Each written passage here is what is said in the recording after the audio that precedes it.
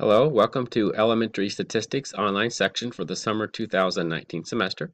Hi, my name is David Juriga and I just wanted to introduce myself to say hello and just to kind of give you a couple things. First is to make sure that you do review the Blackboard tutorial. I have several items on there to walk you through the Blackboard site and also to help you get registered with Connect. You'll need Connect to submit your quiz and homework assignments throughout the summer.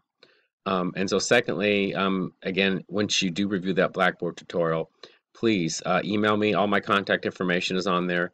You can either call me, but I do prefer you email me because I can always get to, get to an email just about every day.